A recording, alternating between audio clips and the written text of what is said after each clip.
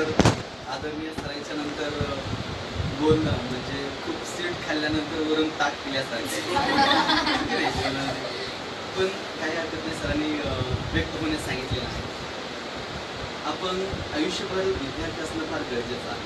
विद्यार्थी असणं म्हणजे आपण सतत काहीतरी नवीन नवीन शिकत राहिलं पाहिजे. फक्त टेक्च्युअल नॉलेज म्हणजे लर्निंग नाही फक्त क्लासमध्ये जाणं स्कूलमध्ये जाणं चार भिंतीच्या आतमध्ये आपण जे काही शिकतो ते नॉलेज नाही त्याच्याही पलीकडे आपलं जीवन आहे ओके आणि त्या जीवनामध्ये आपल्याला प्रत्येक पावलोपावले आपल्याला नवीन नवीन असं काहीतरी शिकायला मिळतं we are learning so many things we are coming here we are teaching here but you don't consider we are teacher but from you are sitting there but from yourself also we are learning so many things तुम्ही जरी बसलेला असला तरी तुमच्याकडून सुद्धा आम्हाला खूप काही शिकायला मिळतं त्याच्यात and that is the attitude of that the teacher every teachers that is the same attitude but as a student we have to grasp more and more पण स्टुडंट म्हणून आपल्याला खूप खूप ग्राफ्सिंग केलं पाहिजे. खूप खूप आपला तो पोलाइटनेस असला पाहिजे. महत्त्वाचं म्हणजे जे जे खूप मोठे लोक झालेले आहेत त्यांच्याकडे तुम्हाला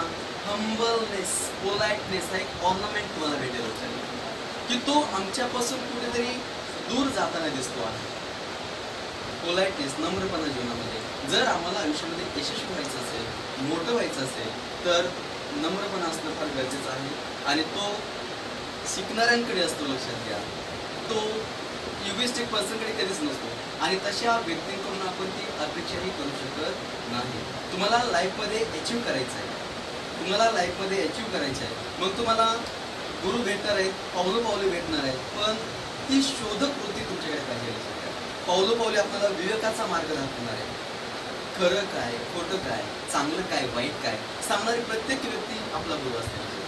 पावलं पावली आपल्याला सपोर्ट करणार आहे. चुकलं तरी आपल्याला माफ करणार आहे. सुद्धा आपले गुरुच असतात ना. आणि it is started from our home आणि याची सुरुवात तर आपल्या घरापासून झालेली असते. तर या सगळ्या गोष्टी तुम्ही आजपर्यंत thousands of the time you may be listen आजपर्यंत हजारो वेळा तुम्ही या गोष्टी ऐकलेल्या असतील. तरी सुद्धा what about practice what about practical पण प्रॅक्टिसचं काय? प्रॅक्टिकलचं काय? तर प्रॅक्टिकल फार महत्वाचं आहे. या जीवनाच्या या गाण्याला वन्स मोर नाही लक्ष द्या.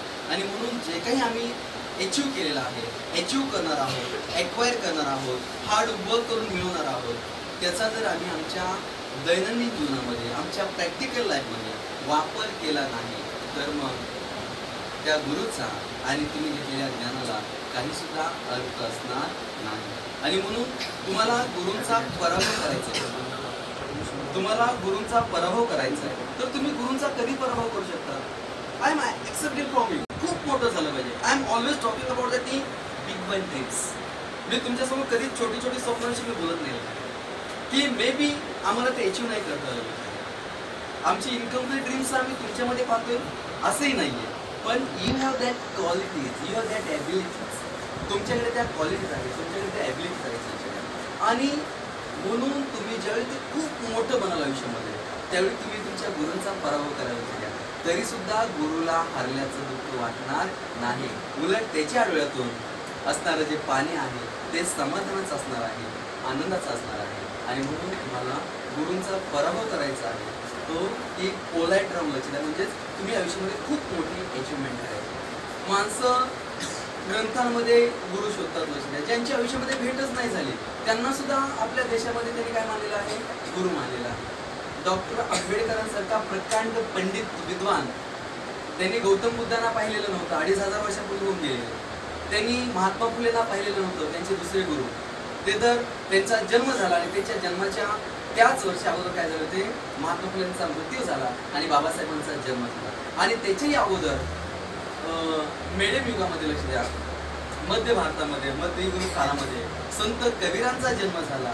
संत कबीरांचं कार्य या तिन्ही गुरूंना बाबासाहेबांनी पाहिलेलं नव्हतं पण त्यांना गुरु मानलेलं होतं. त्यांचं कथनी आणि करणे काहीतरी असं एक श- शब्द आहे काहीतरी वाक्य आहे लक्ष द्या.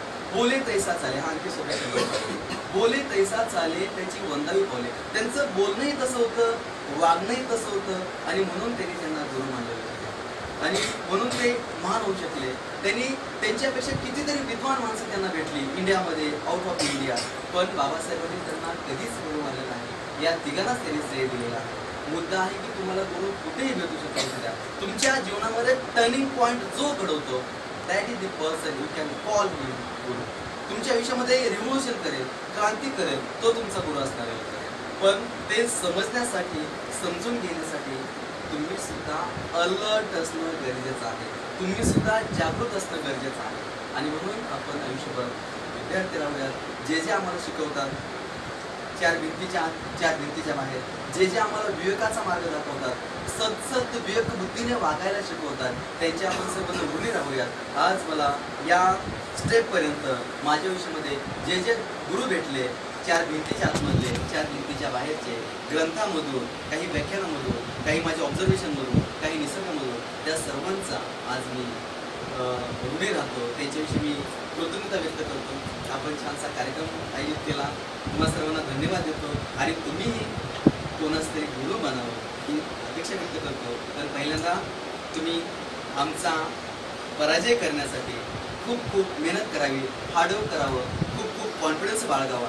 आणि तुम्ही तुमच्या लाईफमध्ये सक्सेस व्हावं ओके त्या मला वाटतं की माझ्याकडे तुम्हाला गुरु करून द्या खूप हो, शुभेच्छा.